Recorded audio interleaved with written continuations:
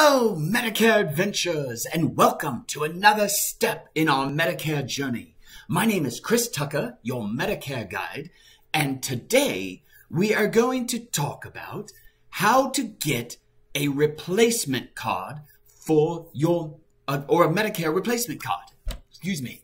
Uh, so, getting a Medicare replacement card has become very, very easy.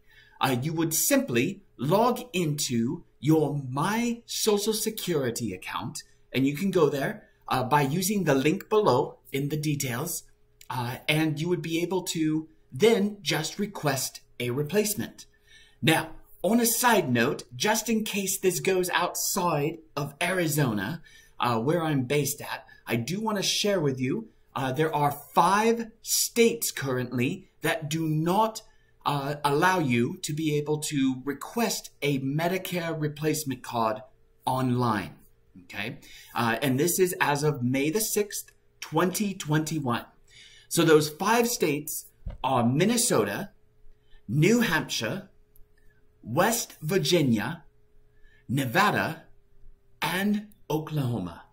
For the rest of you, uh, or for the rest of us, I should say, uh, we can request a Medicare replacement card online.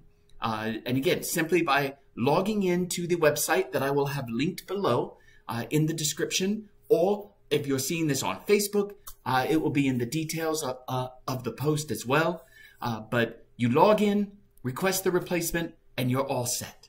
So don't worry if you lose your card, maybe you put it through the wash for whatever reason, or anything else that may happen to your card and you need a new one.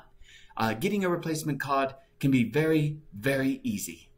Thank you so much for watching today. I hope this has been helpful for you and brought you some peace of mind. If it has, please be sure to like, comment, share, subscribe. I would be excited to be able to be a resource and be a blessing to anybody who are also Medicare adventurers out there. Until the next time, take care and thanks for watching.